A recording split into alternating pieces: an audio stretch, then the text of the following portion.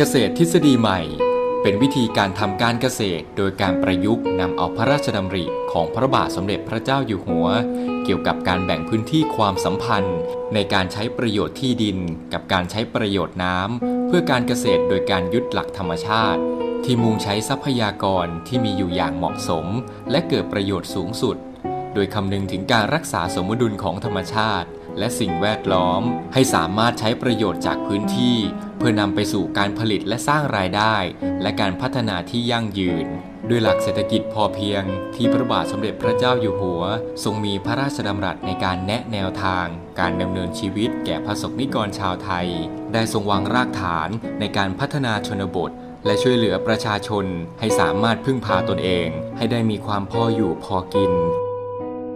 โครงการศูนย์บริการวิชาการเกษตร อันเนื่องมาจากพระราชดำริ ตำบลบึงทองหลาง อำเภอลำลูกกา จังหวัดประทุมธานี เป็นอีกหนึ่งโครงการในการนำเสนอแนวทางพระราชดำริ ของพระบาทสมเด็จพระเจ้าอยู่หัว กับการนำเอาเกษตรทฤษฎีใหม่ เพื่อมาใช้เป็นที่อยู่ของชุมชน และพัฒนาให้ดีขึ้น บนพื้นที่ 252 ไร่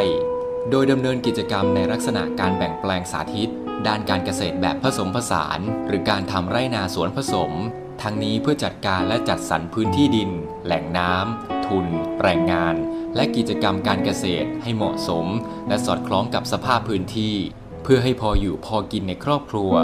ผลผลิตที่เหลือจากการนำมาจำหน่าย มีรายได้สู่ครอบครัวอย่างต่อเนื่อง ตลอดจนการลดความเสี่ยงในการดำเนินกิจกรรมทางการเกษตร และสามารถพึ่งพาตนเองได้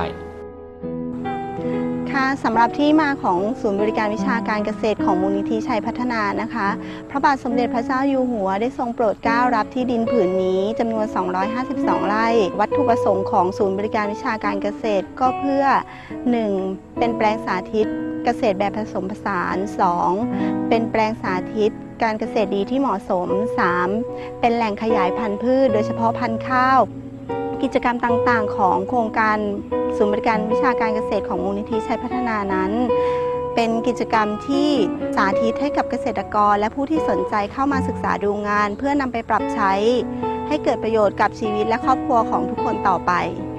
การแบ่งพื้นที่การเกษตรนั้นแบ่งออกเป็น 4 ส่วน ส่วนที่ 1สำหรับขุดสระไว้กักเก็บน้ำจำนวน 30%ของพื้นที่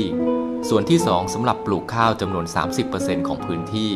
ส่วนที่ 3สำหรับปลูกไม้ผลยืนต้น และส่วนที่ 4 เป็นพื้นที่สำหรับปลูกสร้าง เช่นที่อยู่อาศัย โรงเลี้ยงสัตว์ ซึ่งคิดเป็นจำนวน 10%ของพื้นที่ โดยศูนย์บริการวิชาการเกษตร อันเนื่องมาจากพระราชดำริ โดยแบ่งพื้นที่เป็นส่วนๆดังนี้ แปลงนาข้าว เป็นการดำเนินงานผลิตข้าวพันธุ์ ทั้งในนาปีและนาปรัง ซึ่งให้ได้เมล็ดพันธุ์ที่ดี โดยมีพันธุ์ข้าวปทุมธานีชัยนาทและพิษณุโลก แปลงพืชไร่และไม้ดอกจำนวน 6 ร่อง ได้แก่ข้าวโพด ถั่วเขียว ถั่วเหลือง ข้าวเหนียว ซึ่งก็มีการผลิตไม้ดอกบนร่องเช่นเดียวกันจำนวน 3 ร่อง อันได้แก่ ดาวเรือง มะลิ และดอกบัว แปลงพืชผักจำนวน 19 ร่อง โดยมีการผลิตผักกินใบ และแปลงปลูกพืชพันธุ์ไม้ผลจำนวน 37 ร่อง การเกษตรยังชีพดำเนินการบนพื้นที่ 500 ตารางเมตร เน้นการปลูกพืชเพื่อบริโภค อันได้แก่การปลูกพืชสมุนไพร การเลี้ยงไก่บ้าน หมูหลุม เพื่อเป็นตัวอย่างให้แก่เกษตรกร และผู้ที่สนใจในการทำการเกษตร เราไม่เคยทำสวนเลยใช่ไหมคะเราเราก็ไปเรียนรู้จากเขาแล้วเราก็มาปลูกมาทำเป็นพระคุณที่ เราได้ท่านพระราชทานให้เราได้มีที่อยู่ที่กินขอให้ท่านจนอายุยาวตลอดไป เพื่อเป็นกำลังใจให้ประชาชนของท่าน